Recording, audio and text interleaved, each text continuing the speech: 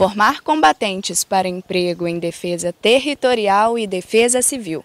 Na reportagem de hoje você vai conhecer a unidade do tiro de guerra TG 04002, que há 105 anos é destaque aqui na cidade de Carangola, uma das unidades mais antigas do Brasil. Frente para a direita, ah! frente para a esquerda. Ah! Bom, o jovem após ter o seu alistamento, ele vai ser designado para uma seleção inicial, onde ele vai vir para a organização que ele foi designado, vai ter uma entrevista, vai ter uma, uma seleção médica, ele vai passar por um médico, vai ser feita uma inspeção, e daí todos os dados são lançados em um sistema, e esse sistema ele vai designar alguns para a seleção complementar. Acho que tiro de guerra ajuda o, o jovem, né? o menino a ter mais responsabilidade com seus horários, a seguir o que deve fazer mesmo no dia a dia. Está me ajudando bastante nisso, disciplina, é o que mais estou vendo de útil. Está sendo bom, proveitoso, e sobre a rotina é meio difícil de acostumar no começo, só que depois você consegue. Bom, os atiradores eles ficam comigo aqui das 6 às 8 da manhã e de segunda a sábado.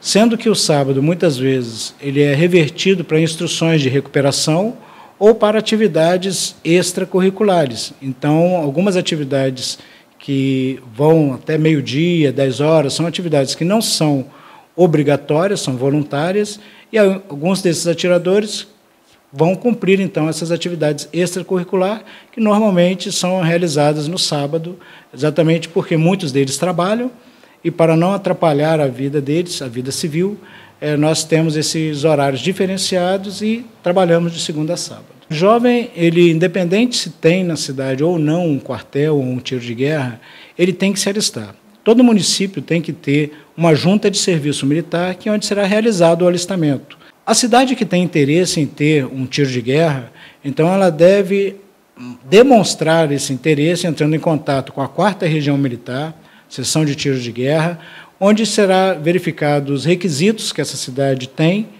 e será então, ela cumprindo esses requisitos, será é, feito um acordo de cooperação entre o Exército e o município.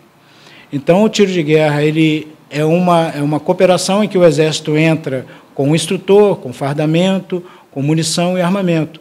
E o município ele entra com a parte estrutural, com as instalações, com os funcionários, pagamento de água, luz, telefone. Então, é, desse acordo, então, sendo firmado, vai ser então fundado o tiro de guerra naquele município. Você aprende a criar mais disciplina, ter mais horário, mais compromisso mesmo. Aprende a virar homem mesmo, na verdade. E está sendo uma experiência muito, muito boa mesmo. A gente aprende muitas coisas, cria muitas novas amizades.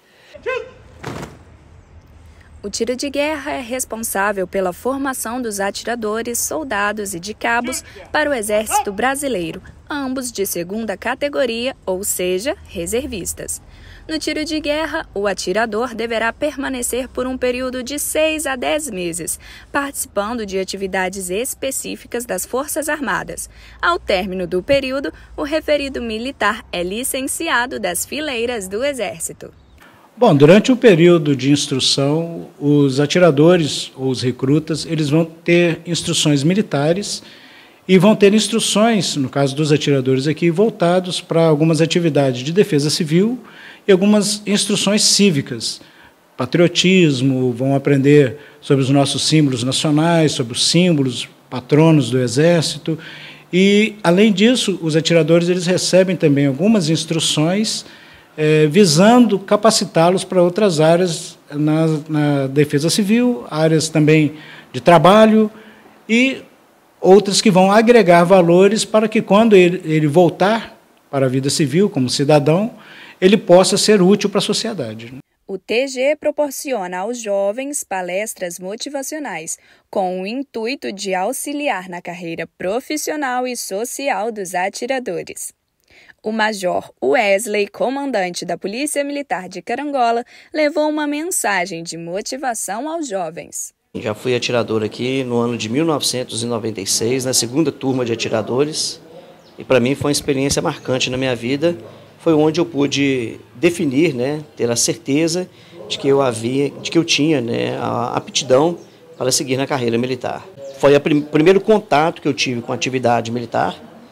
Apesar de ter alguns parentes militares, né? um tio era policial militar, mas ao momento que eu tive que os seis meses, na época que eu, que eu servi o tiro de guerra, eram seis meses, para mim foi uma, um momento de experiência para poder ingressar na, na instituição. É muito importante, porque aqui são ensinados é, inúmeros é, princípios, né, princípios é, ligados à responsabilidade, a compromisso. É, é, é, um, é um, um, ótimo momento que o jovem tem para poder ter é, é, um contato direto né, com coisas bacanas, com coisas boas, né, e a formação dele para o futuro. Essas palestras trazem essa instrumentação, esse, essa capacidade, desperta essa capacidade do atirador de querer algo mais.